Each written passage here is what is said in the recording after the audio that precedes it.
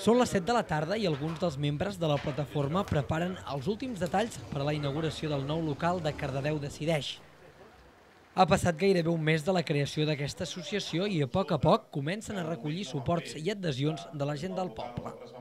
Bé, nosaltres fins ara fem una valoració molt positiva de com està anant la campanya. Vam obrir doncs, fa un, un parell de setmanes i ja tenim 300 adherits, eh, tenim més de 1.000 euros en, en donacions eh, de particulars, en necessitem més per finançar aquesta campanya i també necessitem més adherits, més persones que ens confirmin que el, que el 13 de desembre aniran a votar. El nou local va quedar petit. Unes 60 persones van acudir a la crida de la plataforma. Des de l'organització van aclarir quin és l'objectiu de Cardedeu Decideix.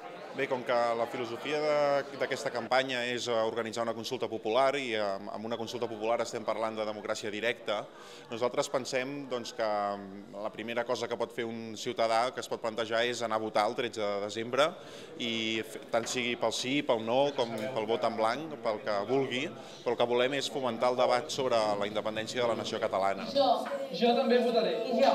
I tu? El 13 de desembre. Desenes de cares conegudes de Cardedeu animant el poble a anar a votar. Aquesta és la campanya publicitària que ha engegat la plataforma amb l'objectiu que la participació sigui el màxim d'elevada. També van explicar quines seran les activitats de la plataforma fins al dia 13. Cada dilluns seran al mercat per convèncer de la importància de la consulta, recorreran els diversos barris i estan preparant un debat televisat sobre el referèndum.